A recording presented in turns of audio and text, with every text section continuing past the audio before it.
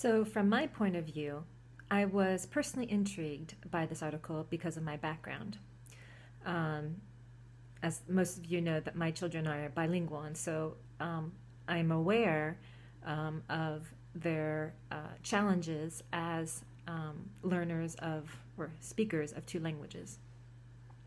Um, but as a teacher, I'm overwhelmed at this idea of uh, targeted instruction. It seems like a lot of work, and um, but I'm hopeful um, that there would be a lot of mentoring and coaching um, for teachers to reach these populations.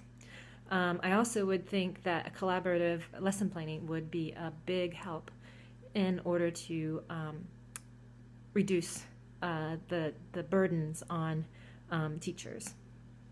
Um, it was also very eye opening to me as well um, because I previously did not worry about um, non native English speakers in my classroom because I always thought that um, students coming in are um, at the same level for my um, subject.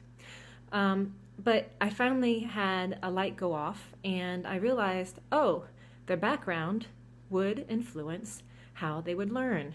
Um, and it makes me sad in a way thinking back on the years when I did have um, non native English speakers in my classroom, and I um, maybe was culturally, culturally responsive to them, but I wasn't able to uh, reach their needs um, in, uh, um, in learning um, the French language. So, um, this was a very interesting article for me, and I was really excited to read it.